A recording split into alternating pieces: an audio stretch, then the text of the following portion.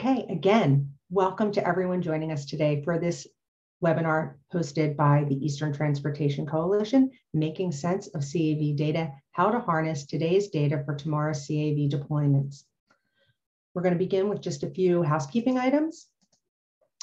First, we're using Zoom webinar today, um, not Zoom meeting. You may join using with your audio with either using your computer or phone, whichever works best for you. This web meeting is being recorded and a recording will be made available to participants.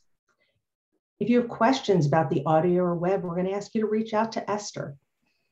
And we're going to give a, we're also going to talk a little bit more about how we're handling questions today. So you'll notice that you have the Q&A box open. So at any point, if you have a question for one of our speakers, please type it in that box. They will either answer it in the Q&A box or will it will be part of the Q&A session at the end of the uh, webinar. We have an opportunity, we may have an opportunity to have questions asked verbally. In those cases, we're going to ask you to raise your hand. Um, but if you can put them in the in the Q&A box, that will help us too. At this point, I'd like to turn it over to Lisa Miller. She is the Innovation Program Associate with the Eastern Transportation Coalition. Great, thank, thank you, Joanna. Joanna. We're hearing some feedback from you.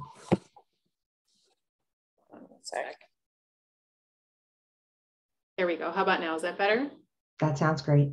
Great, thank you. Thank you, Joanna, and good day, everyone.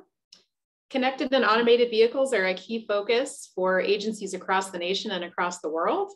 And many remaining unknowns and limited resources in some cases uh, for our state transportation agencies are really challenging us on how to prepare. Next slide, please. Before we begin, just a little bit of info about the Eastern Transportation Coalition, formerly the Interstate 95 Corridor. We serve 17 member states and the DC Department of Transportation. And the newest member of our coalition is the Kentucky Transportation Cabinet. So welcome to anyone participating from Kentucky. Next slide, please. What do we do at the coalition? In brief, we advance the future of transportation and we connect for solutions. A smart, integrated, reliable, sustainable, and resilient multimodal transportation system is the goal. And we do that by developing innovative and implementable ideas. We exchange best practices, test emerging technologies, and work as a coordinated corridor in a proactive way. Next slide, please. There are three different program tracks within the coalition, transportation system management and operations, intermodal freight, and innovation and transportation, which is where all things connected and automated vehicles live. And you'll notice a new entry under the innovation and transportation. We're doing a lot more with electric vehicle work right now, and it's an emerging area. Next slide, please. There's a great amount of strategic planning, workshops for learning, and members only resources available through the coalition. Here's a snapshot of the past few months of what we've been working on and what we have upcoming. There's a lot going on right now with our strategic planning for fiscal year 2023, and all of the program areas are very actively engaged in creating their work plans. Next slide, please. I'm so excited to dig in today and hear from our panelists on all things connected and automated vehicle related. We'll have presentations and then we'll have a good amount of time at the end for Q&A and discussion. So please make the most of your time today. Next slide. As Joanna mentioned, we have presenters from basically every time zone, which is pretty great. There are 265 attendees registered for the webinar from over 30 states, which is pretty amazing. So let's try hard today to engage and not have this be just another webinar. You're here, let's get the most out of it because you know you'll just file it away when the recording comes into your email inbox and you might not have time to listen to it. So really try to engage and make time for, for the webinar today. Next slide, please. All right, framing the discussion. Here we go. Next slide, please. There's been an immense amount of growth throughout the coalition region, and in some cases, an outflow from urban areas to rural areas, especially with the change in workforce from COVID. which makes rural CAV even more important. We're not only growing in our population, but we're growing in data as well. We're already a data rich industry and there's more every single day. Today, even at lower levels of autonomy, connected cars generate around 25 gigabytes of data per hour. And um, as more self-driving features appear inside connected cars, the architecture required to make it all possible will become increasingly complex. And that's in part what we're going to be talking about today. Dr. Barbour from the I-24 Motion Project and Vanderbilt University shared with me before this webinar that they process, not store, process 31 petabytes of video data per year and 11 terabytes of trajectory data that is generated and shared per year and I had to look up a petabyte, it's 1 million gigabytes or 1024 terabytes, which is just an immense amount of data and information. Next slide, please.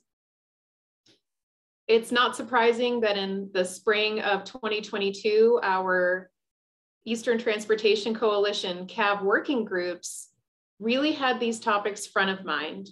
The word cloud that you see on the right side of your screen, outreach, legislation, education, and electric vehicles are focus areas for all of our working groups, but you can see technology, research, data and credentialing, the SPAT challenge, MOUs and cross-border coordination are really very much front of mind.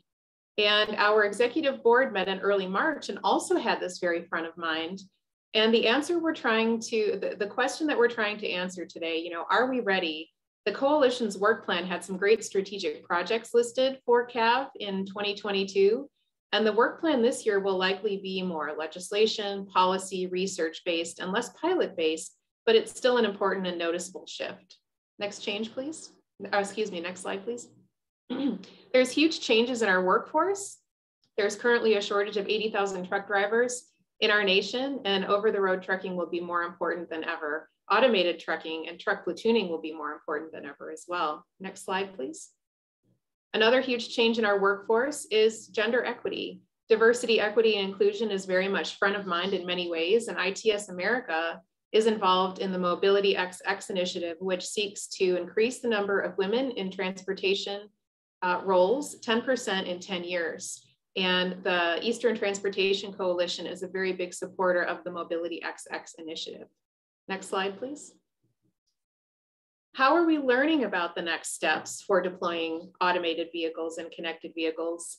There's a bit of an infrastructure cart before the horse conundrum, and DOTs and public agencies are wanting to deploy, but what infrastructure is needed and what kind of readiness studies are we going to hear about in the next few years? AV readiness studies have been focused on lane striping, and you'll hear from Peter Jager from Utah DOT today uh, we're also partnering with Connecticut DOT, Consumer Reports, and the University of Connecticut on an automated vehicle road readiness study looking at lane markings. And I'm hearing through the grapevine that North Carolina DOT is short to follow. Next slide, please. Another style of readiness study is the documentation and understanding of the current state of the practice for AVs identifying agency priorities, reviewing and adapting readiness assessment frameworks, developing and testing prototypes. At the coalition, we focus on cross-jurisdiction issues, which is a critically important component of regional readiness for AVs. Next slide, please. Where do we even start that cart before the horse conundrum? Can you even drive an automated vehicle in your state? This uh, National Conference of State Legislatures database is an excellent place to go. You can break down legislation by topic, by date. It's a really great resource. And in the mid 2010s, a lot of state DOTs really started to assess um, this policy and legislation element. Next slide, please. Last but not least, because I'm a communications person at heart, I think outreach is very important. And depending on where you are in the country, citizens have different exposures with CAV technology based on university research centers and innovation from their DOT levels and their local uh, jurisdictions, automakers engaging um, in different areas. The Minnesota Department of Transportation does a lot of public outreach through pilots, and their CAV program goal is to seek trust and understanding. I think that's a great element to incorporate in all of our projects moving forward. Educating and informing is always an excellent way to get buy-in from the public. Pennsylvania DOT also has a great amount of CAV projects and Pittsburgh wants to secure the spot of a breakout role in autonomous systems and everything we do, whether it's V2X data ecosystems or a pilot at the state fair is really expanding the knowledge in this CAV space. Next slide, please. Okay, without further delay, your panelists for today. Please keep in mind that the chat box is open. Go ahead and type in your questions anytime. And I'll just read the bios uh, from left to right here, and then we'll get going with Peter. Peter Jager is a PE PTOE, and he's a Traffic Technology and Innovations Project Manager for the Utah Department of Transportation. Thanks for being here today with us, Peter. Peter is currently a project manager in the Technology and Innovation Group at UDOT, and he has over 20 years of experience in the traffic engineering field, both in the public and private sectors. Peter received a BS in Civil and Environmental Engineering from the University of Utah. Lee Smith is with us from the Tennessee Department of Transportation. Thanks, Lee, for being here today. And Lee's the Interim Director of Traffic Operations. Lee graduated from Tulane University in New Orleans in 1995 with a bachelor's degree in civil engineering, and he became a licensed PE in 2002. After serving in the US Army post-college, Lee served in different disciplines within the civil and traffic engineering fields in the private and public sectors over the last 25 years. Lee's notable assignments are city traffic engineer with the city of Pensacola, Florida, TSMO ITS program manager with Florida DOT District 3. And in 2018, Lee joined Tennessee DOT as an assistant director of traffic operations. This role allows him to be involved in all aspects of traffic operations from TMC, Safety Service Patrol, to ITS and signal deployments, integrating TSMO strategies throughout Tennessee and delivering safe and efficient transportation systems. And my favorite part of Lee's bio, Lee and his long-suffering patient wife, Suzanne, have two kids, Natalie, age 13, and Charlie, age 10. William Barbour uh, is joining us from Vanderbilt University. Uh, Dr. Barbour is a research scientist and uh, is focusing on the Institute for Software and Integrated Systems. Dr. Barbour received his PhD in civil engineering from Vanderbilt and an MS degree in sustainable and resilient infrastructure systems from the University of Illinois at Urbana-Champaign and a BS in biosystems engineering from the University of Tennessee, Knoxville. Dr. Barbour had previously worked at Oak Ridge National Laboratory and CSX Transportation, Dr. Barbour's career and research interests focus on the application of novel and advanced computational techniques to transportation systems engineering. Thanks for being here, Will. Doug Gettman, PhD, is the Director of Smart Mobility and AV-CV Consulting Services for Kimley Horn. Dr. Gettman has 29 years of experience in adaptive traffic control, smart city strategic planning and implement, implementation, connected vehicles, ITS management software, and transportation system modeling and simulation. Doug has been involved with CV AV standards, planning, research, and operations since 2005. Thanks, Doug, for being here with us today. And last but not least, we have Dr. Stanley Young. Uh, Stanley is also a, a PE, and Stanley is our very own Eastern Transportation Coalition Chief Data Officer. Dr. Young joined the Eastern Transportation Coalition as its Chief Data Officer in 2021, providing technical leadership to the Trans Transportation Data Marketplace Project, as well as other new data-driven projects for the coalition. Stan is also the Mobility Systems Team Lead for the National Renewable Energy Laboratory Center for Integrated Mobility Science, and he currently leads the DOE's Technologist in Community, beginning with the Smart Columbus project in 2016, and now extending to several communities seeking to apply advanced mobile technology and data to improve sustainability and citizens' quality of life. So more than half of your panel today is a PhD, which I think is pretty fantastic. So let's ask a lot of really good questions and make sure we have an engaging opportunity today. With that, I'll turn it over to Peter. Thank you, Lisa. Let me get my presentation up here.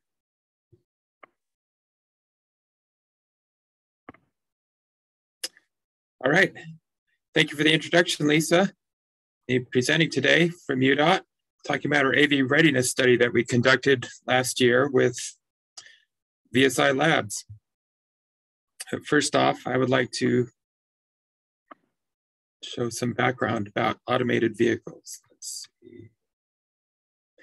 Automated vehicles use various sensor technologies such as GPS, radar sensors, and LiDAR, and digital cameras to sense their surroundings. Whereas humans, we use our eyes to see the surroundings and make judgments. The vi automated vehicle has to use these various sensors to take some or all of the driving functions from the driver and make those judgment calls. Here's an example of a LiDAR image coming from the vehicle. It can see virtually all of the objects and the roadway itself, or using detection algorithms, detect the various vehicles, people, signs, and objects on the roadway. Now, Society of Automotive Engineers has assigned different levels of automation from zero to five, zero being complete zero automation, human doing all of the driving, to level five being the computer being able to drive the vehicle anytime, anywhere. Now, we're all familiar with probably the most basic automation, such as cruise control. And now we have level one and level two that are very common in newer vehicles. Technologies such as lane departure warning or now lane keeping assist, which can actually keep the vehicle in the lane, not just warn you when it's departing. We are hoping to have levels three through five soon. We always hear about it from automakers about the self-driving vehicle. But we as a department are looking to get the roads ready to see if we can handle these systems on our roadways. So questions we've been asking here at UDOT, are our roads ready? And what will it take to be ready for these vehicles to travel safely on our roadways? One of the major issues to consider is lane markings. In addition to signage and work zone information, and do we have enough connectivity on the roadway for these vehicles to travel and receive the information they need?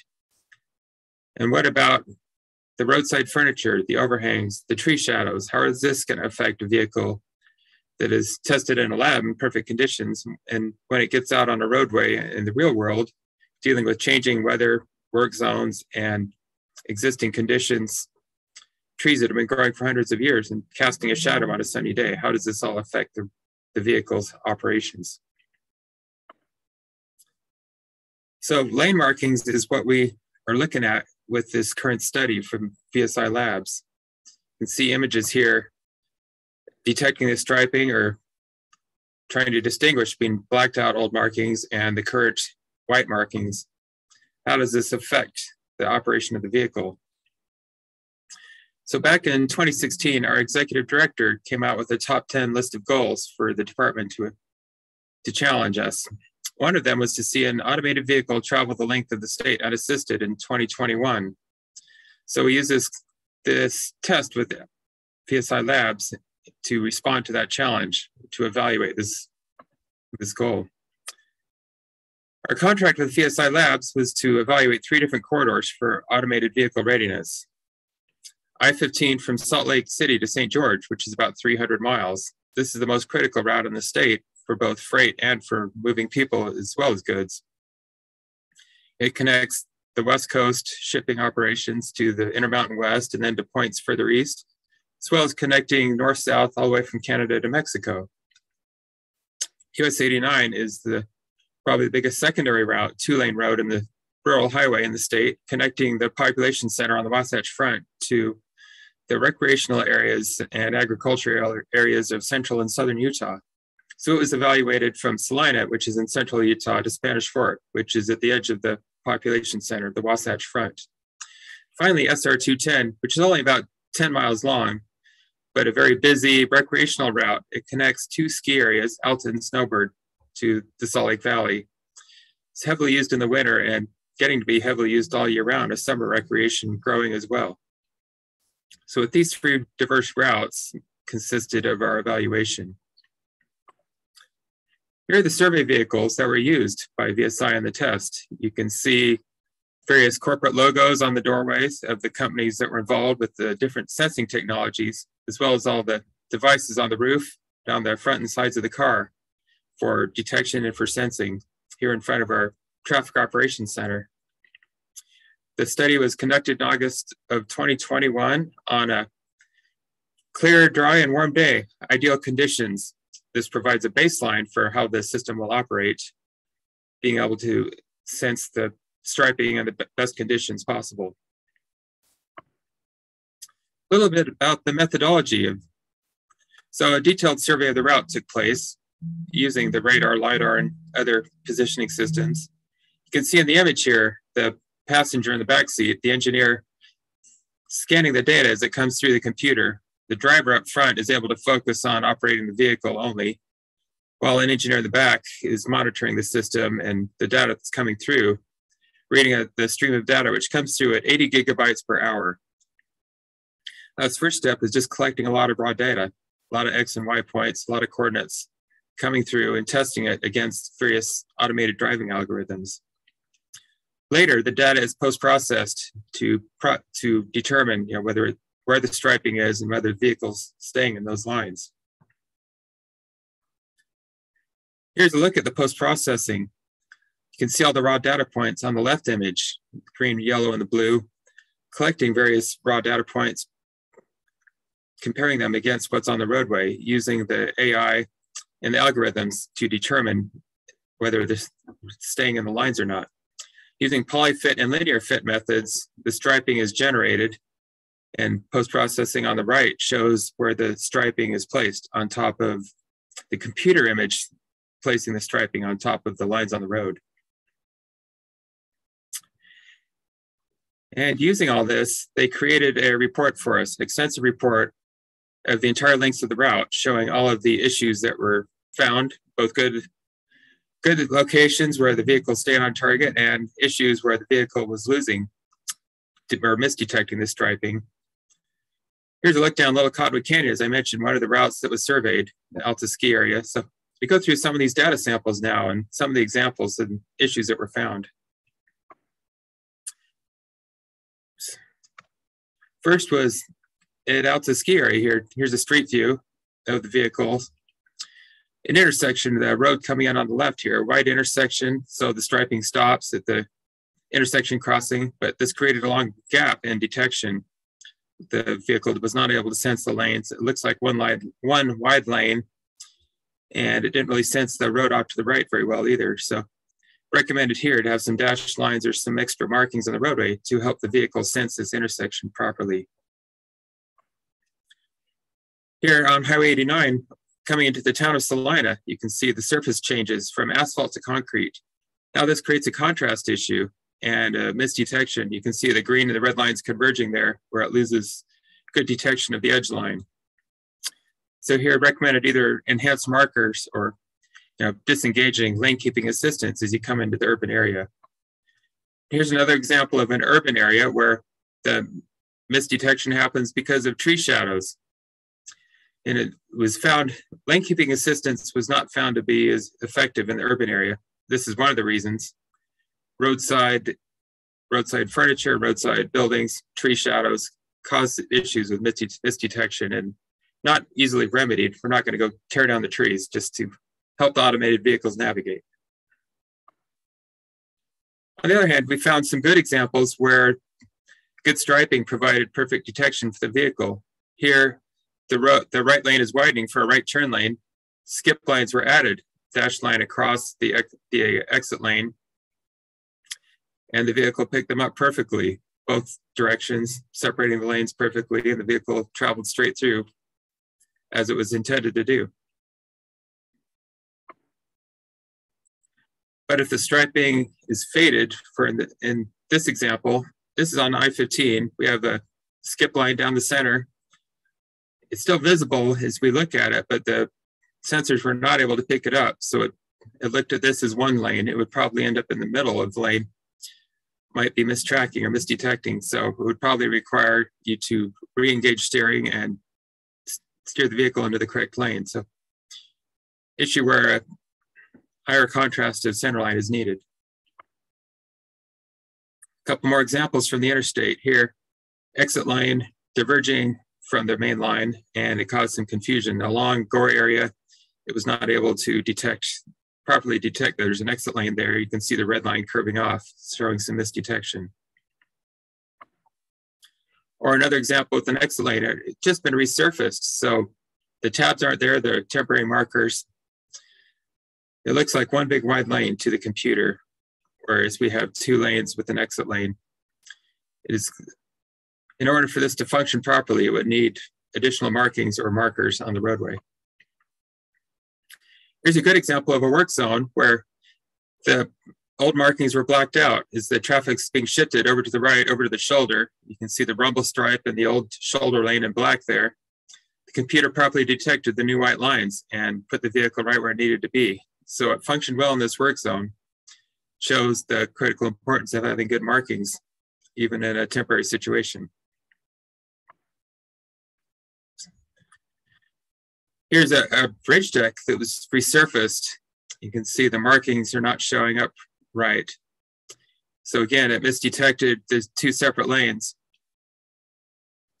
However, in some situations, we found the bridge deck resurface was short enough, the vehicle was able to stay in the lane properly because shortly after it lost, shortly after losing the tracking, it was able to pick it up again on the other side. So fortunately, the memory is long enough to keep it on track if the gap in striping is short enough. And then further down that same road, you can see another surface contrast issue where low contrast with the white striping on the white pavement or even the yellow stripe over on the far left is not picked up well. It doesn't contrast well enough. Bright light and the white pavement need higher contrast markers to detect that. As you can see in this situation as well, concrete retaining wall off to the right, the Jersey barrier, white pavement all kind of blends together with the glare. So it lost sight of the edge line. Does not have good detection in this area. So what we found, currently putting in some areas that what some people would call the tiger tail stripe, where we have an alternating black and white stripe. This section in the south end of the Salt Lake Valley here, as we're coming into an urban area, multiple lanes, it detected all the lanes perfectly here, tracking all the lanes with the black and white alternating, found to be very effective. The tiger tail was very effective for this situation. A few miles down the road, when that tiger tail segment ended, you can see the striping starting to veer off again. The computer imagery starting to veer off to the side and the lines converging where they weren't supposed to. So high contrast marking proved to be very effective. Another situation without it, can see some uh, confusion in the computer sensing with two lanes diverging off to the right and is not, not sufficient contrast for it. The lines are curving when in the not in the correct place.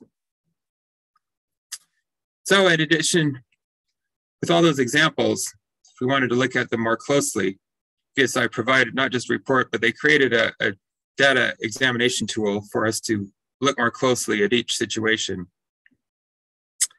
And you can, here's a look at static image of what this tool looks like. You can step forward frame by frame and provides a map of the exact location of whatever the issue is. Be very effective. So I'm going to jump out and try to share this live. So give me a sec, I'll switch what I'm sharing here. Peter, while you're doing that, I'll just note that there's some great questions coming in into the chat box. Okay. So we'll address those at the end. We have a lot of great questions about weather and uh, best practices and stuff like that. So thank you. All right, you see my screen now with the data tool? Yep. Perfect. Back up to the start. So here's the lane marking examiner tool they provided us. You see the three different routes and two different directions for each route. We can look at each one in detail. You can enter a GPS coordinate to go to an exact site. But for example, I'm going to go to Little Cottonwood eastbound here. It gives us a list of all the different categories of different issues. Or you can just go one by one, click on item one here. And see a misdetection. We have curvature, curving road with a lot of tree shadows. This is in a, a canyon area. So we can go forward frame by frame. See, it was not detecting very well. Well, we got an edge line there, center line. This is an area where it really struggled through here with misdetections. And jumping back, show another one here. We can go by categories. We can look at the vulnerable road user issue where they said caution required a narrow bike lane and the detection going around the corner. You can jump back and see how the striping is tracking around the corner here. Pretty good in most situations, but uh, you know, with the curve fitting, it does, it doesn't look as good going frame by frame, right? But we do navigate around the cyclist just fine.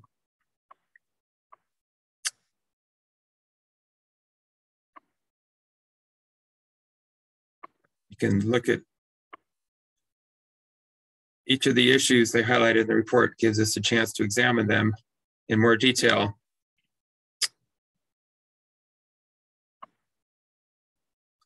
Here's an issue where, again, where the skip line provided for the exit lane provided very good detection for us, kept the vehicles in the lane. It's the right turn diverges off over to Snowbird. So jump back to my presentation here.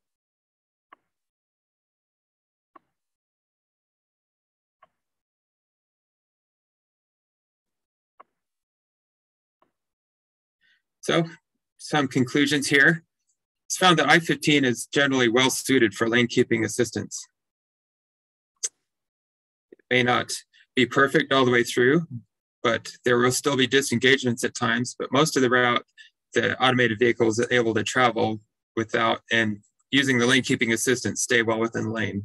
There may be a few gaps in detections of striping, whether it's a work zone or temporary situation, the resurfacing, but not always enough to disrupt the system.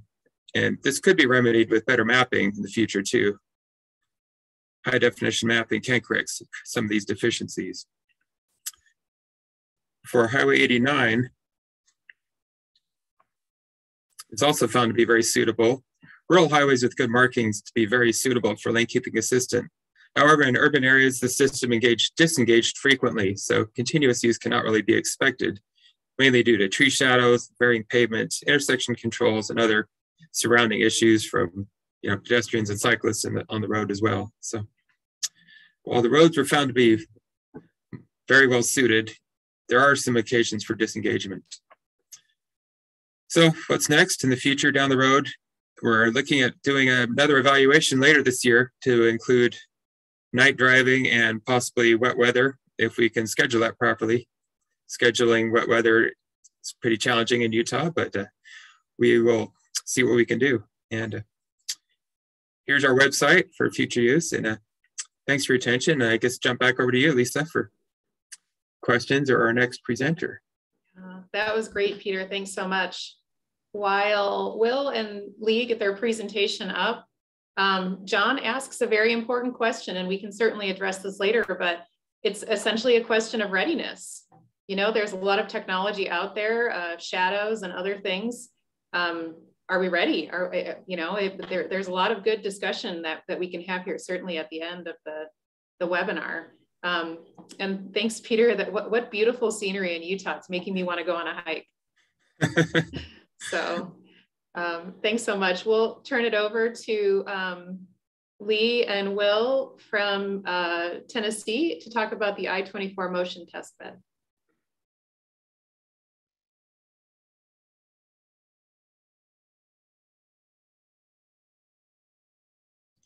All right, thanks, Lisa. Uh, can everybody see uh, our presentation? Yes. Yep. All right, good deal. Uh, well, it's uh, it's my pleasure to be here, and I think I speak for both Lee and myself when I say it's our pleasure to be here presenting to you today about the I-24 Motion testbed. Uh, this is a, uh, a project that's been going on for a number of years and uh, is still in its uh, development phase. Um, we're completing construction on the first phase uh, this year, and uh, we'll enter sort of our uh, production and operation phase uh, towards the end of 2022. Uh, so I'll get us kicked off here uh, with a little bit of motivation about the project and, and some of the background. Um, my my background during my uh, uh, time in civil engineering is has been primarily about transportation uh, sensing and what we can do with transportation data. And in the traffic context, uh, we've been collecting traffic data uh, about uh, drivers and and how traffic actually functions for many years. This dates back to the 1930s with early camera sensing uh, and progressed into mobile or uh, progressed into sensor networks in the 2000s.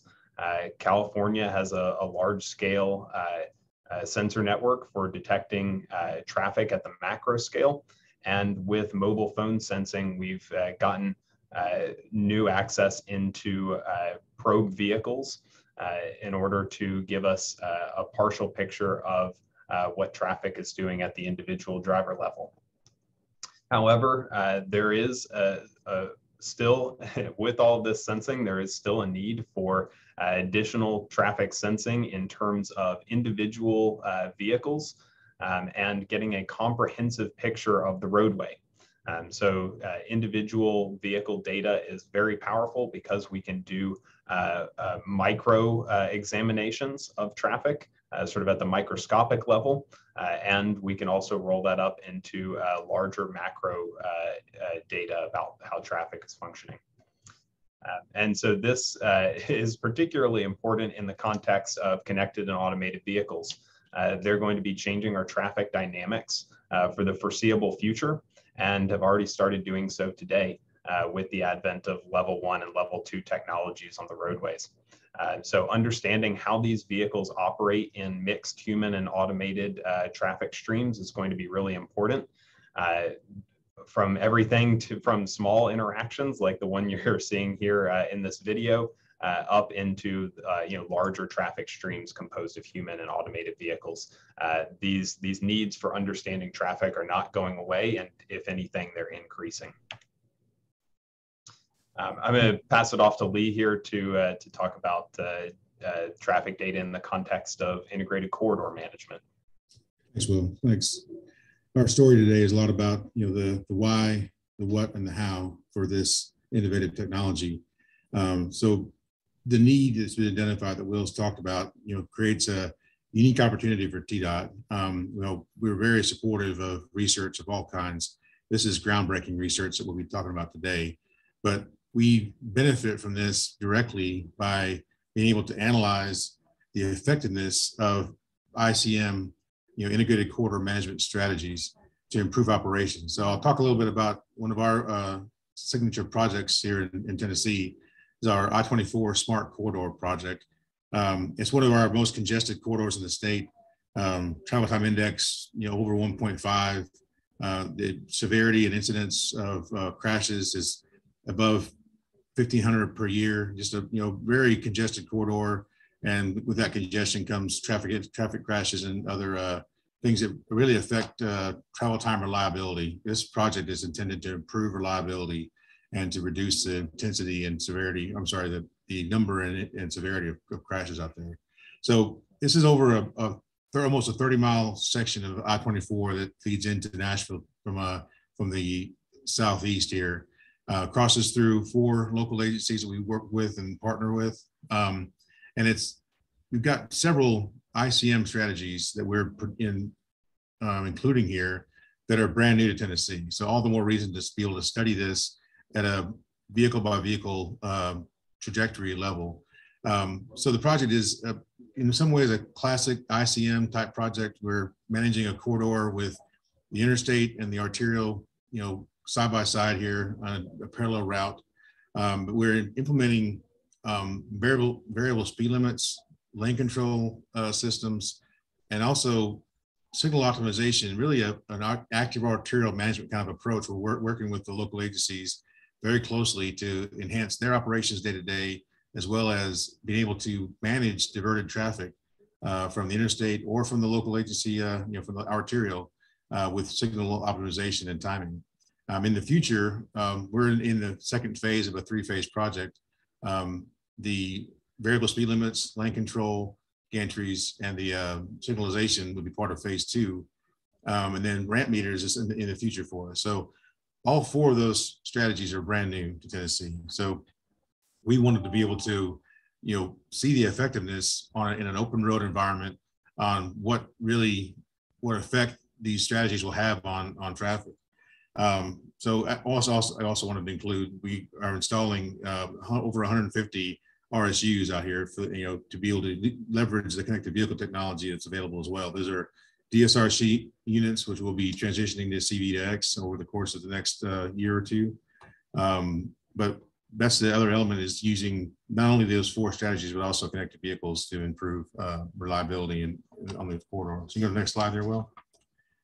So this is a section of I-24 um, near um, Waldron Road here, near coming up to Nashville, and you can see the effect of just the phantom, phantom traffic jam. You guys have all seen this, where someone ahead of you taps their brakes, and then the accordion effect starts, and you, you're backed up in traffic for some period of time, and then you get up there, and there's no indication there was a crash. You're like, why was I stopped? Um, not to mention you're risking that back of the queue crash, that secondary crash, just in that simple bit of um, of traffic queuing there. You know, so the effects of the friction of the vehicles, just you know, side by side coming in and out of the uh, traffic flow there, uh, and the innovative really innovative part of the I-24 Motion project is to be able to, to test in a open road live environment. That's, that's unique, we believe. And also to be able to test, you know, the vehicle by vehicle, lane by lane trajectories of those vehicles. Um, so we're looking at, from the operations standpoint, looking at, look, you know, testing and analyzing um, and improving operations for incidents as well as non-incidents, you know, just the recurring congestion. Next slide there. So we talked a little bit about the why. Now we're going to start talking about the how and the what. So next slide. So this this project, uh, just a kind of an introduction to the overall project. Um, we've got, oh, you know, basically four miles of infrastructure we're putting in. We'll be testing. We'll be using high resolution, cameras um, and looking at real world uh, applications. So you know, the, the innovation is this, you know, this dense installation of 4K cameras um, and being able to, you know, look at and, and um, analyze the speed, position, and trajectory. That's a key word um, in what we're trying to do here with this project. Um, and so these algorithms that Vandy is developing for not only to process this data, be able to offer it up to anybody that'd like to come test on this on this uh, test. Next slide. So what we're building here, we feel like is a what we call an MRI for traffic. You're able to kind of see into the traffic flow and see what's how vehicles are interacting with that, and how connected vehicles are interacting with traditional vehicles, and just um, you can anything you can think of that you want to put into a live traffic stream. This system can give you that data. It's going to give you insights in, as to how those vehicles are interacting and, and how they're interacting are um, being affected by infrastructure as far as ICM strategies like the over the road gantries with the X's and arrows, variable speed limits, and then uh, just a myriad, you know, for OEMs, other researchers, the traffic simulation community, as Will kind of indicated, is going to is being advanced to a you know just a huge leap forward. Um, but anything you can think of, it's just such an inter interesting thing to be able to expand your mind as to whatever you'd like to test in this live environment with on open road test bed to be able to look at it from this angle. Um, so we want to use from an operations standpoint. Um, I'm not one of these uh, PhDs on this call. I'm one of the guys that uh, tries to, to uh, affect operations more directly, but trying to look at how we can use the insights to be able to affect improving operations. Um, the data collected is great, but then the forward thinking and forward looking as how we can use these insights to improve traffic flow and then I would just say on the operation of the test bed, we kind of talked about before with uh, Peter's uh, presentation a little bit. I think Lisa mentioned as well. The safety of this is paramount. You know, we're, we're working on procedures for any any test entity would like to come out to be able to do this in a safe safe manner. Um, so I've talked a little bit about the about we talked about the, the why, and now a little bit about the what what piece of this. Now Will's going to talk more about the status of the corridor and uh, about how it works. So Will, I'll turn it back over to you. Thanks, Lee. Uh, yeah, so uh, as we've sort of discussed, I-24 Motions has two, uh, two operating modalities. One is just collecting data about how traffic functions, and the other is uh, you know, really deploying experiments to the roadway and, uh, and understanding how uh, whatever you're testing is affecting traffic, whether that be ICM strategies or a connected or automated vehicle deployment. Um, but the, the fundamental sort of uh, data unit of all of this is uh, individual trajectory data or individual trajectory data uh, from each and every vehicle out there on the roadway. Uh, so this this vehicle trajectory data is uh, is not a new concept necessarily. This dates back to the early 2000s. Um, uh, NGSIM has been a fundamental data set for the traffic science community and for the simulation community. Uh, but you know it's built on a, a limited data set uh, from only uh, you know a small section of roadway in California. This has been expanded in recent years by a team in Germany and recently by another drone data set um, that cover a, a, small period of time. Um, but we are trying to take this forward, take this area forward by um, by an order of magnitude here. And uh, produce over 200 million vehicle miles traveled per year of individual vehicle trajectory data. And that will be ongoing year after year. So, whatever is out there uh, on the corridor, whatever's happening, uh, we are going to have data about that. And so that includes all of the uh, traffic management and all of the uh, you know, any experimentation that is performed out there. Uh, and this uh, trajectory data feed will be made publicly available. So it's you know not just for for our use here in Tennessee. It's meant to be extensible uh, to the broader uh, transportation community, uh, just as prior data sets have, have really tried to move things forward. So you know, in order to actually make this endeavor come to fruition, this has been a, a multi-year effort that started back in 2020 and I guess depending on who you asked, uh, you know, started a little bit before that in terms of uh, conceptualizing uh, I-24 motion. Um, but of, of, course, there was a lot of uh, planning and reporting that went on here uh, from the systems engineering analysis report to uh, business plan and data plan. all of that documentation was super important in order to really solidify how the testbed is going to be built and how it's going to operate for years to come. And then on the physical side, uh, we uh, built a three pole validation system, as we call it. Uh, this is really just a, a prototype of the infrastructure uh, because we are uh, making some innovations in this department uh, with adding more cameras for a super high composite resolution for each camera pole. and this allows us to see you know, a larger field of view than if we had just one camera per pole. And so that, uh, that validation system was completed in 2020 and it's been operational since then. Um, this has been used internally for uh, data sampling and software development. Um, and, uh, and also from the infrastructure perspective to uh, improve upon a, the prototype and uh, build our four mile system. Uh, here's just a time lapse of uh, the construction uh, morning for the validation system. This was a uh, bright and sunny, uh, you know, Sunday, of course. Uh, we're, we're lucky uh, that we got a weather gap here, uh, all jokes aside. Uh, but the, these are, you're seeing 110 foot tall poles being stood up along the roadway.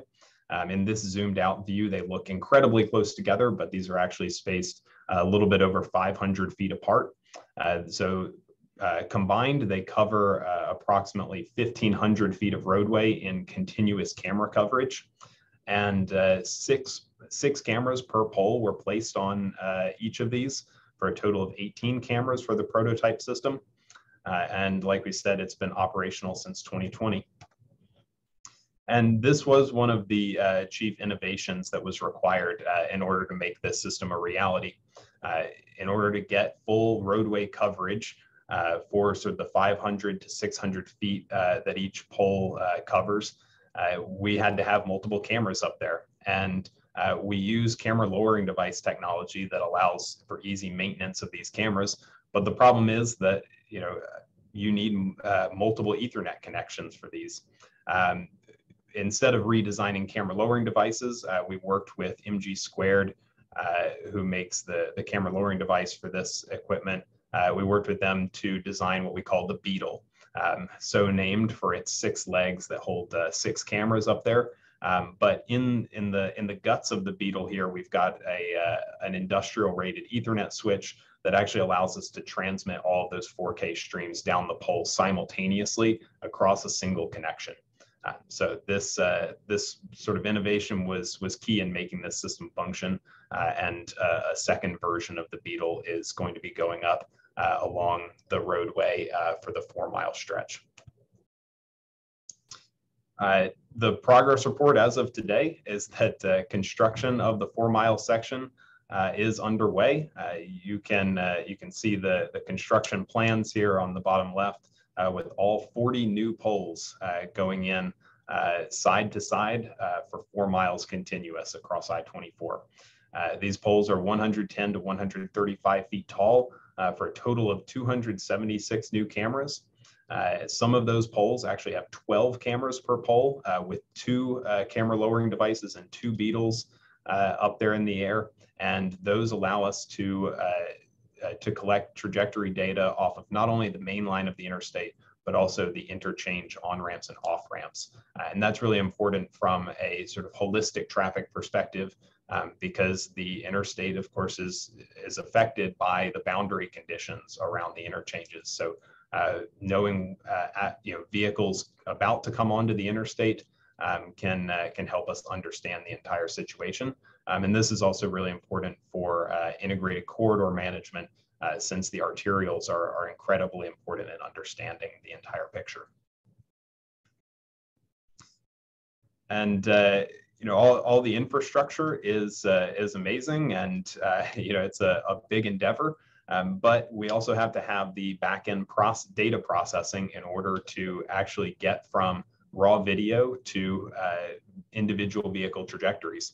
And this has also been a multi-year uh, algorithm and software development endeavor.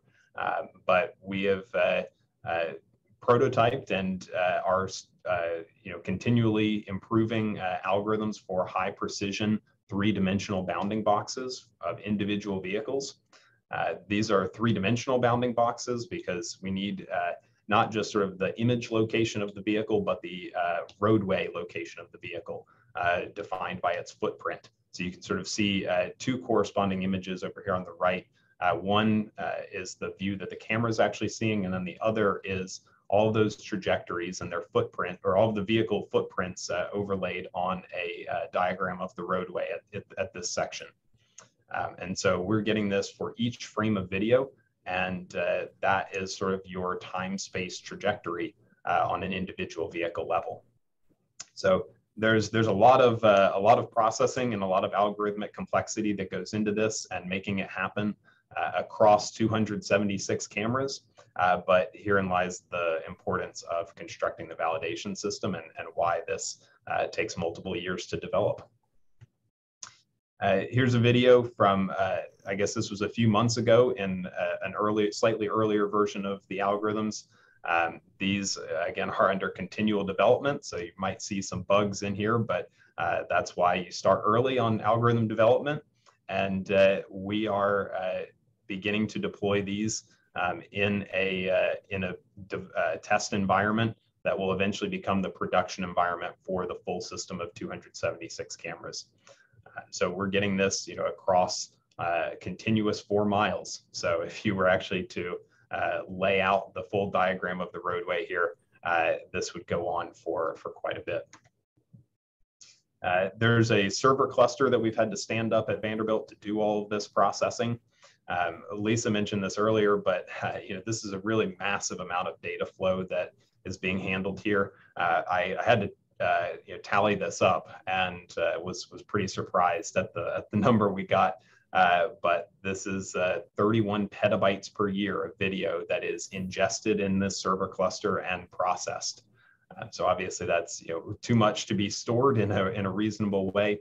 Um, but our, our uh, data product here is the vehicle trajectories, not the video. So the video is a means by which to get those trajectories, uh, but it's not the primary data product. Uh, and you know, moreover, uh, if you have individual vehicle trajectories, you don't really uh, need the video. It's more of just a, a, a, way to validate that those trajectories are correct. Um, so those those trajectories are not a small data product with you know 150,000 vehicles per day, 365 days per year. Uh, you're looking at multiple terabytes of trajectory data that's generated by the testbed every year.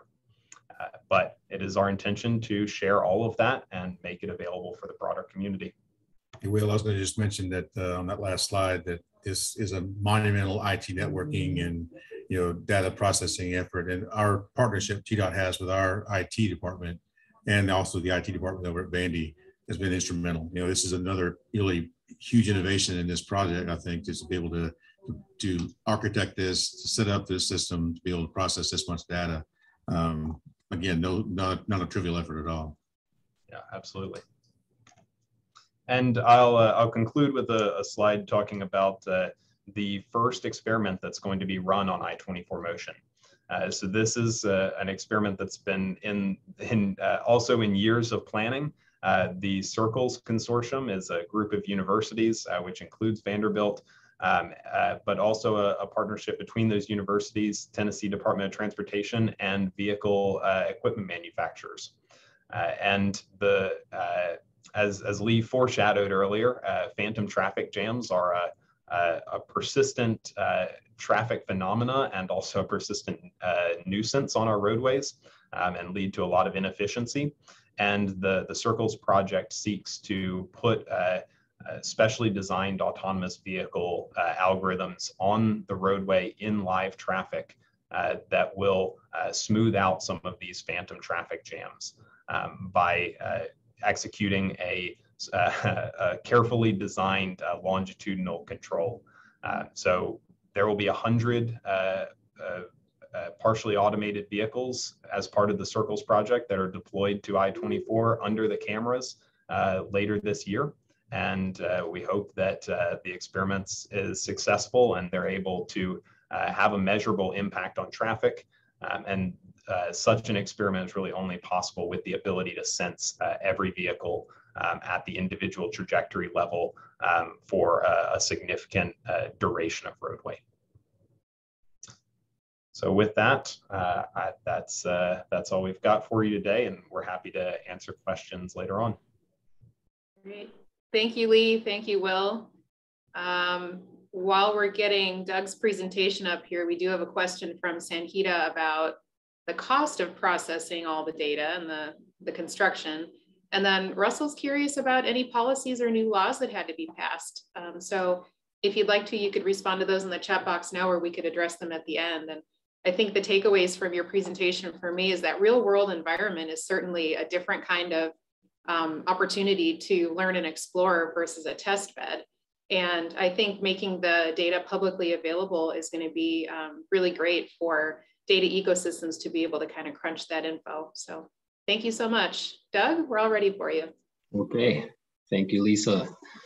Uh, first, uh, I want to say, I guess I have a lot of questions for Will, but uh, having a small role in NGSIM back in 2001, I guess not to date myself, but I'm glad to see the, the shout out to uh, NGSIM as a sort of landmark study of trajectory data processing.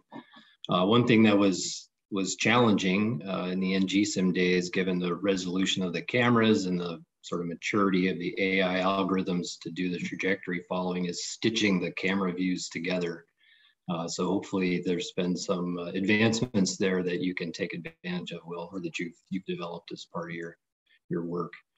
Um, anyway, so Lisa uh, asked me not to comment on Will's presentation, but to provide some remarks and thoughts about uh, privacy and security and maybe some of the spectrum issues that are, that are sort of uh, going on right now in the connected vehicle world, sort of in the general uh, realm of you know, data from connected and automated vehicles. So um, hopefully I won't uh, insult too many folks, experts on the on the phone or in the webinar that probably know more than I do about some of this stuff. But just to start with some some basic definitions, uh, there's sort of three components or two components of the connected vehicle world. Uh, one is the OBU, Uh, that's the onboard unit, the processor that does DSRC or C-V2X communications in the vehicle.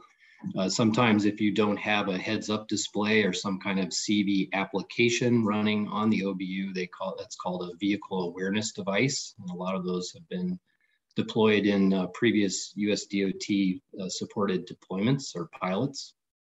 On the infrastructure side, we call the radio, the DSRC or CVX radio, the RSU, the roadside unit. Sometimes that's conflated with what's called the RSE, the roadside equipment. And many of the suppliers uh, these days are actually putting both of those elements into one unit uh, and mounting that on the pole to do sort of both functions.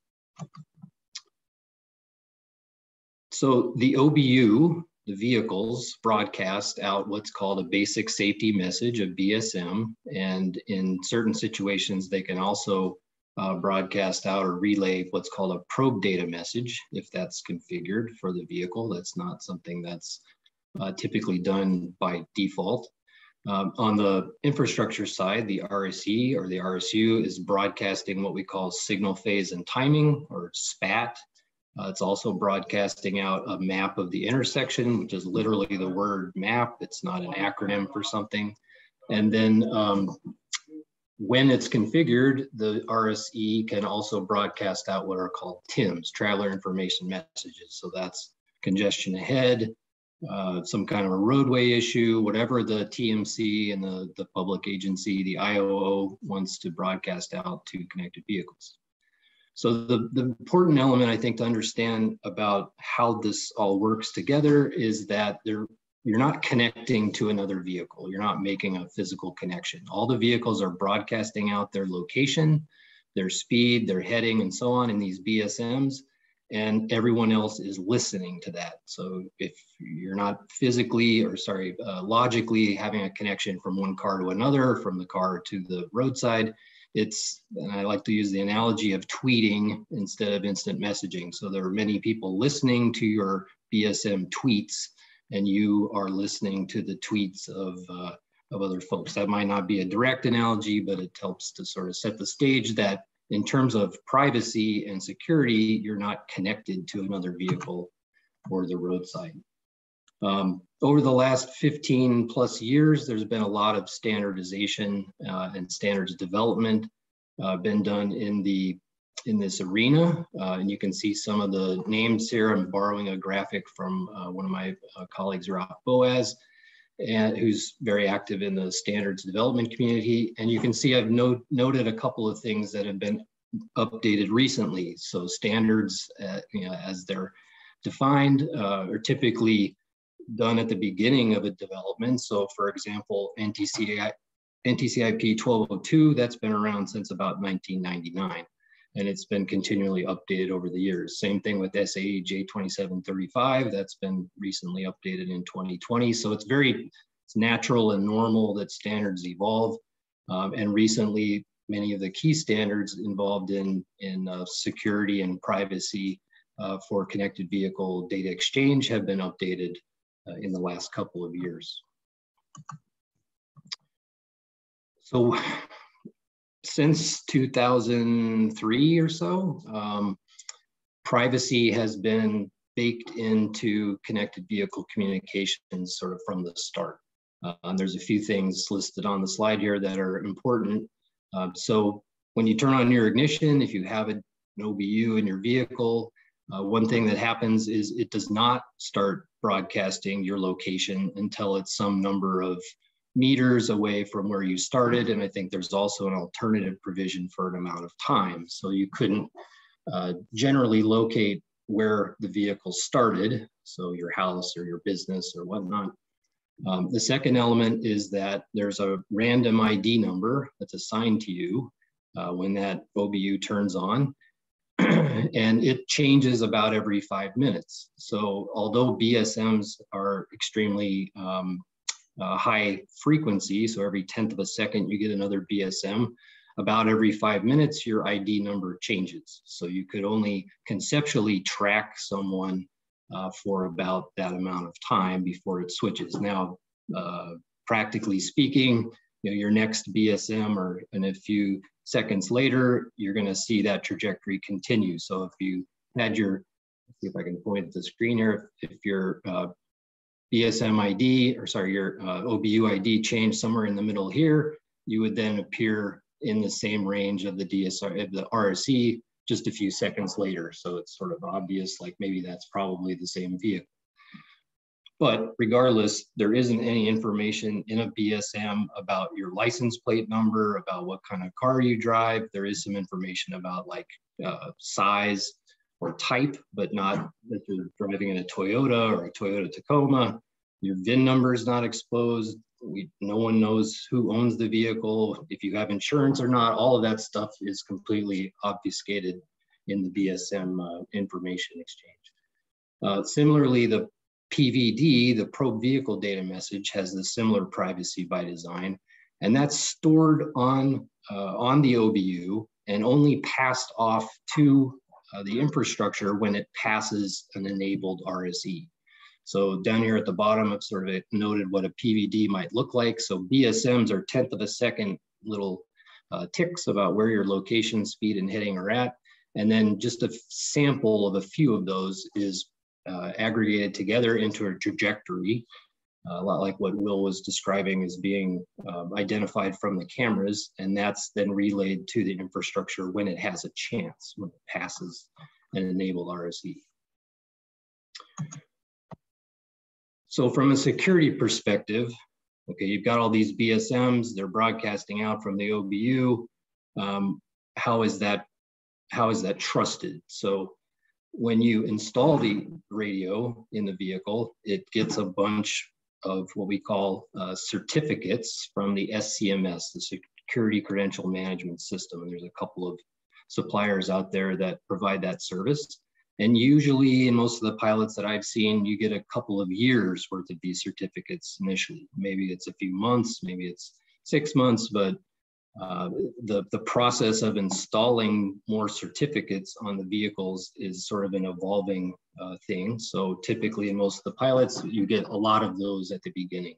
So that every five minutes as you're driving, those can be rotated around and to change your identity and, and help uh, provide that security. So that uh, special ID number is now certified with this SCMS secret code uh, using public key encryption so that you can trust that in the vehicle that if, if I have an OBU and you have an OBU that your OB that your BSMs are trusted, those are real. They're not uh, being spoofed or or, or um, uh, some kind of malfeasance in some in some sense. Uh, so on the infrastructure side, same thing is is happening. The the radio, the RSU or the RSE has a bunch of certificates but those aren't typically rotated uh, every five or six minutes because it's a publicly owned, uh, you know, device. It doesn't really need to have be obfuscated because you can see the you can see where the radio is mounted on the pole. It has a fixed location. It's not going anywhere. Um, so although we do want to certify that the SPAT and MAP and TIM information coming out of a, an RSE is trusted, it doesn't really need to be uh, changed all that frequently. So one thing that always sort of perplexes me about the security and privacy discussion about connected vehicles is sort of like once the government gets involved, then uh, I've got a problem with privacy and, and security of my information. But as anybody that's got a smartphone, uh, you're being tracked by a number of apps on your phone, and that's and that's uh, sort of outside of your control. Even if you click on "I don't want my data shared," they've got ways to get around that. And so you can read some of the, this is a fairly recent uh, article by uh, Ben Lovejoy that talks about Apple.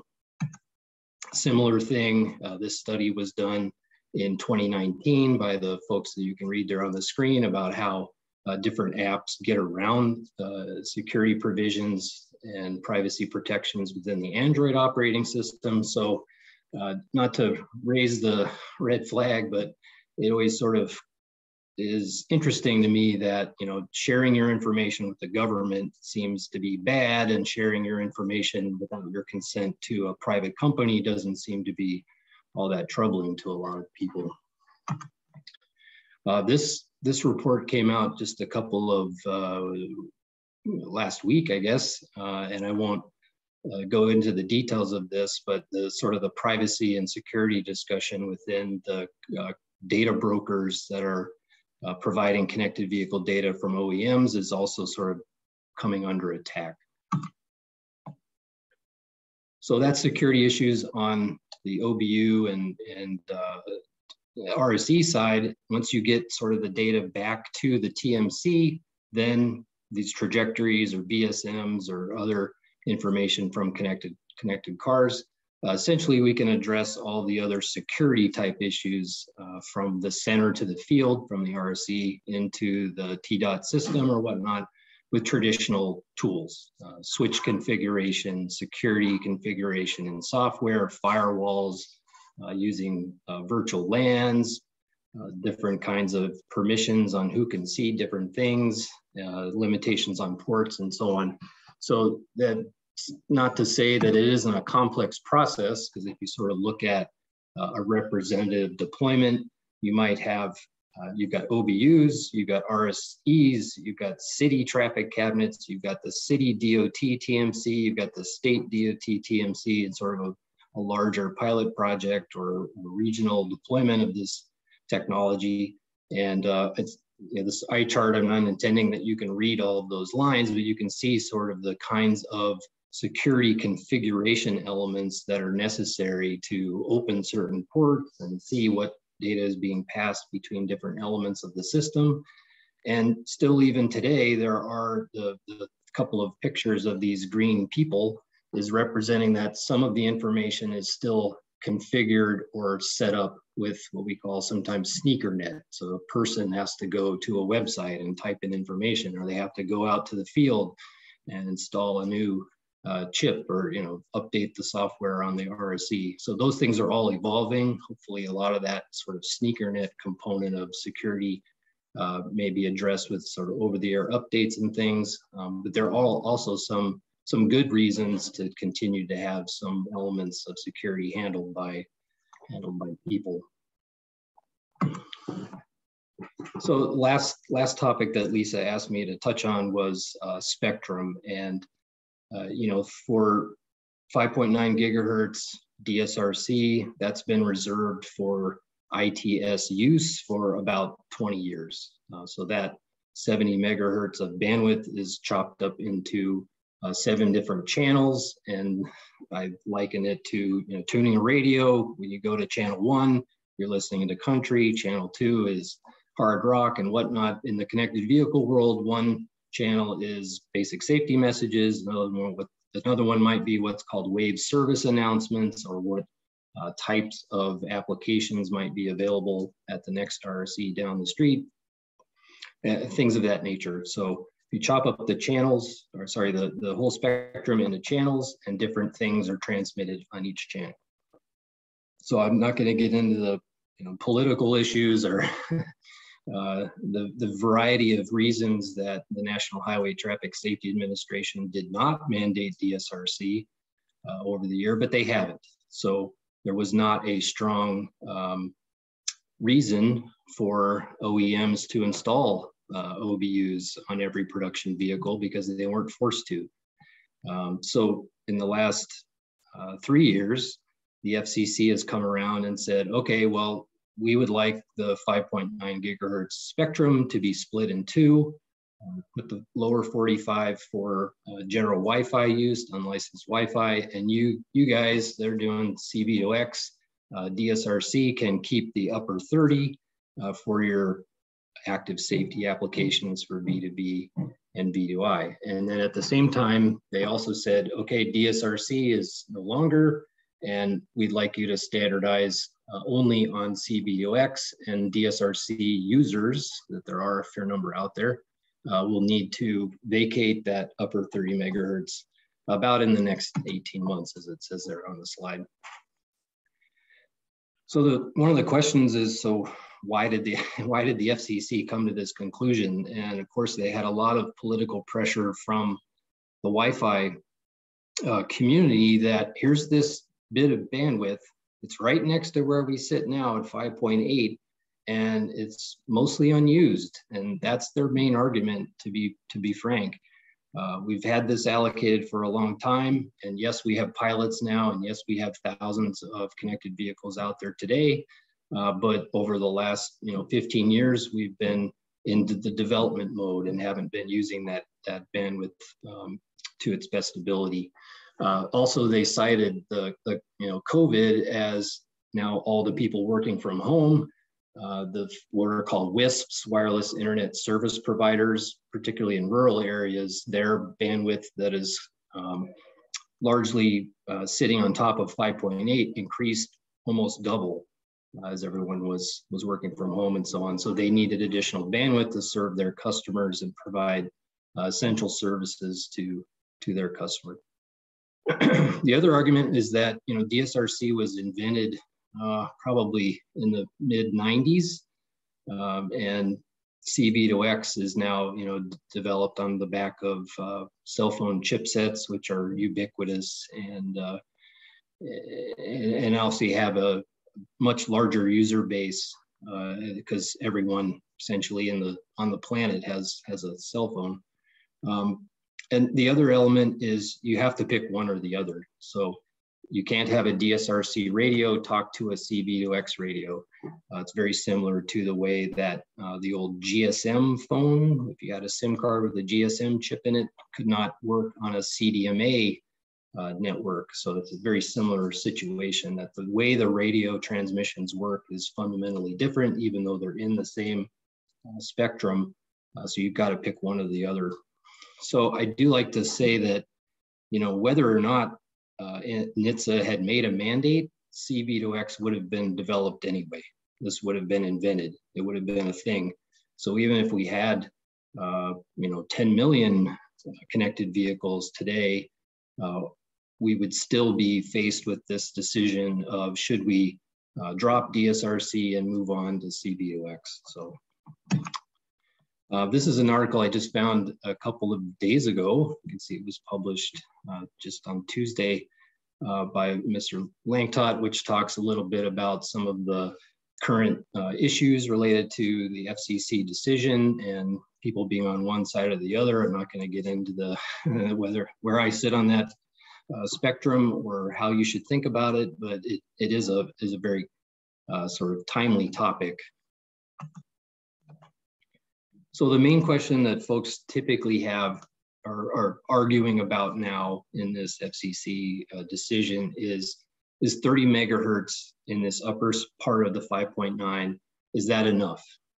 And it's a very difficult uh, question to answer in, in, just a couple of, of sentences. But without going into all, all the radio engineering uh, details, something like 200 vehicles being in proximity to each other will saturate one of those three channels. Uh, just given the size of the messages and how frequently they're they're being transmitted back and forth. so currently, as much as we have pilots out there and there are locations where we may have 5,000, 10,000 connected vehicles deployed, that's still extremely, extremely small component of the overall uh, background traffic that's out there. Um, and it's very difficult, even if you designed a pilot to bring vehicles together into a certain location. For example, the, um, the UMTRI uh, initial safety pilot demonstration in Ann Arbor brought all the vehicles to the University Medical Center. So that was the intention, that was on purpose. So the vehicles would all come to one spot. We can see lots and lots of interactions. But even in that situation, and with everybody going to the hospital uh, in the morning, for example, to start their shift, it's still very tough to get this sort of saturated condition where you have 200 ish vehicles that are sitting right next to each other. So if you didn't have, or even if you had a mandate today that said, uh, okay, every production vehicle in the United States will have a C-V2X radio in it. That's a NHTSA requirement um, it would still take a long time, relatively a long time to get to something like 50% of all the vehicles in the United States uh, that have a radio on them, just based on how people purchase new vehicles and so on. Um, so the good the good news is that at least in my opinion, uh, this issue with channel saturation and having 30 megahertz, only having 30 megahertz, should not be cause for immediate uh, concern, at least today. So we're really talking about considerations for something like seven to 10 years from now. Uh, and another piece of good news is the 5GAA, which is the group of uh, automotive uh, folks that, that are focused on C-V2X development are considering these situations now. And some of the newer uh, features of C-V2X will have some provisions to handle some of this channel saturation better than it does today. And to be honest, you know, 6G is already in the development phase, right? So as we roll out 5G technology, 6G is already coming, and that's uh, anticipated to actually be reallocated from where uh, C-V2X sits now, 5.9, into a much higher uh, frequency spectrum because of the bandwidth and uh, and latency requirements of of 6G. So just to sort of finish up the discussion of this channel saturation issue, you know, here's an RSU in the middle of this uh, picture, happens to also be uh, on I-24, which Will and Lee we're, we're talking about, and, and showing you sort of the, the design range of an RS, RSE, which is about 300 meters, 1,000 feet or so. That's the minimum minimum range. But in most of the pilot deployments we've seen, uh, you get much, much better uh, reception from, from one of these radios. So you might see out double and perhaps even and uh, two and a half times as far as the design range. So if you look at what that might look like today, you know, we don't have very many connected vehicles out there. Even like even like I said, even if you designed a pilot to bring thousands of uh, vehicles onto the I-24 corridor at the same time, you're still only going to see a smattering of, of vehicles within range of each other or within range of an RSE at any at any particular time. So channel saturation and worrying about you know is 30 megahertz enough is is not a not a concern. What's really a concern is the future. Let's say six or seven years from now, uh, if I-24 is uh, two lanes in each direction, and on this this screen here we're looking at about um, 2,500 feet or so of roadway in a traffic jam, you might have 150 vehicles filling the screen, four lanes, you got about 600 vehicles. If half of those vehicles had a DSR, sorry, a C-V2X radio, then the channel saturation problem is becomes a becomes an issue. And the question is, does that really matter? Because the fact that I can hear a vehicle that's you know a thousand feet in front of me that's also going two miles an hour, is that is that such a problem? You know, it's it's more about how can the vehicles sort of listen to uh, information from vehicles that are nearby, and that's some of the provisions that the 5GAA group uh, is is working on today. Um, so, with that, I'm sure I've probably raise some uh, some questions from folks, uh, but I will uh, conclude and, and take any questions. Thank you, Lisa. That was great. Thank you, Doug. Yeah, that, that future focus is actually my, my final question for all of the uh, panelists today. I just popped into the chat box. So um, I'd love to turn the balance of the time over to Stan, and Stan's going to take us to the Consumer Electronics Show. Uh, thanks to the panelists for uh, answering all the questions that are in the chat box there and the Q&A. Uh, so Stan, please take it away. Thank you, Lisa, and thank you, Doug. That was a great overview. Uh, something I need at least once a year to keep track of all those acronyms. Um, this is somewhat uh, kind of the closing visual show once a year. If you want to find out what the state of advanced driving automated vehicles, electric vehicles are, I'd suggest get out to the Consumer Electronics Show uh, first part of January, usually the week right before TRB. So if you want to knock yourself out, uh, first in the Southwest and then get back to DC, uh, do so. I've been doing it for about five years now. Uh, you know, all the new model cars come out at the Detroit Auto Show, but if you want to geek out about all the new new widgets and bells and whistles, uh, usually those come out at the Consumer Electronics Show. So I I plan to get out there, and I usually spend 36 hours and just just look at the uh, look at the showroom floor and geek out. Um, and these are about a 10 slides of the highlights from 2022. Um, the biggest highlight from 2022 was COVID. It was down by 50%, which I like because half the people were gone, but uh, some of the vendors were gone as well. So here's some of the highlights that are just related to automated vehicles uh, to take note of. Uh, started out uh, the Tesla tunnel, uh, the, the, the boring company. This is their first major tunnel. Uh, definitely take a look at it if you get out there. It's not automated vehicles. They're all driven and they're just all Teslas, but they go through this white tunnel here. Uh, kind of reminds you of It's a Small World ride from Disneyland. Uh, but you know, there's a lot of chatter out there if Elon Musk is going to continue pushing this and, and replace all those manually driven cars with, with automated ones. So there's a great visual there uh, to take reference to. Um, next, the highlights were anything, everything micromobility, uh, powered bikes, powered scooters, powered this, powered that. Uh, they even had a test drive show there. Uh, there's me on a couple of the test drive things. Um, you know, this was more evident than, than automated vehicles this year. That was kind of like the dominant mobility theme uh, at CES 2022. Other things, if you're looking for robotics and automation, uh, things that caught my eye is there was a lot of household robotics in years past. They'd fence them off and let you watch them do their job. This year, they'd wander around and you can interact with them. So they're really maturing. I like the one in the upper left. Of course, I went out there in January and they had an automated snow blower. Just push the button and go clean off your driveway. If you look at the lower right, there's some uh, concepts there. Uh, looks an awful lot like the pods from the Incredibles. Uh, these are just concepts uh, from Hyundai. Uh, also prevalent is if you think this technology is going away, there were more LIDARs there than you could shake a stick at. Uh, LIDARs, LIDARs, LIDARs. Um, if you hear of the solid state LIDAR or the 3D or 4D LIDAR, that's it was kind of their coming out party. A lot of interesting things there. Luminar was big.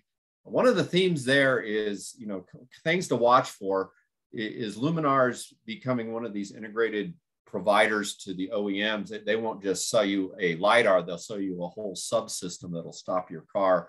in this little picture right in the middle is you could ride in the Luminar vehicle and this little boy on a sled pops out and then the vehicle automatically brakes and avoids the accident. Uh, if you haven't heard, they're going to start an Indy 500 fully autonomous. It was announced at CES 2022. I think it may be electric too. Uh, I'm not sure. Electric autonomous Indy Indy car race. Uh, so we'll see where that goes. Uh, be interesting to see the first one. Um, in reality, there was a lot more emphasis on trucks this year than there were on cars. Uh, I think the big driver shortage and the, the, business case to get trucks automated was definitely there. There are several brands here. Uh, you can see uh, rural um, robotic research showed up big. They have a consumer brand now, RRII. A particular note, if you may have heard of TuSimple, they're trying to get an automated business model going to go across the lower um, the lower parts of the states, and they recently had a huge infusion of cash, so they had a huge booth, and you can see what was going on there. Uh, the other major theme was a, uh, EVs, not AVs, electrified vehicles. Um, there, there, there were brands, you may recognize some of these, you may not. Um, brands, uh, Sony's getting into the app, Togg, Indigo, uh, Fisker, and I forget what the one in the upper, v, VinFast. Uh, so the, there were more examples and more energy in getting things to run on electricity uh, in the light duty space than there was in, in the automating them uh, as there have been in past years. Uh, anything and everything about batteries was popular. Uh, various charging things. My favorite was the split volt down in the lower right. If you have a dryer plug, you just use this little device. You can dry your clothes and charge your EV and without blowing the fuse. Uh, and I included this in the upper right. Where else in the world can you dress up like an element of the periodic table and be the life of the party? You can see there's gallium arsenic or something like that. Uh, it's quite a cute little show. Um, Hyundai, there were a lot of robots there. And if you follow the news, Hyundai bought out Boston Dynamics. And so they had their, uh, their little dog-like pet uh, doing several demonstrations. They had several mobility. These are all concepts. These are not products uh, in this particular one, uh, but definitely a, a, huge amount of robotics and, and automation in this space. Um, this is kind of following up uh, if if you like tractors, then there's nothing cooler than a John Deere. Well, maybe except an automated John Deere. And John Deere had a huge show there in this big old planter, harvester, whatever it was. I could even operate it. I guess you just hit the green button and go, and hopefully it is fully automated because I wouldn't know how to drive it otherwise. Uh, so that that's kind of cool. So there's a little taste. Uh, if you get the opportunity, it's usually quite inexpensive, uh, and it does give you a kind of a benchmark on where industry's at uh, with respect to automation and a lot with respect to electrification across many uh, industry sectors. Thank you. Excellent. Thanks, Stan. As a former Midwesterner, I'm super excited about the automated John Deere's because uh, Peter mentioned before vulnerable road users. I'm also a Harley rider. So passing one of those on a rural road is, is a little challenging for me.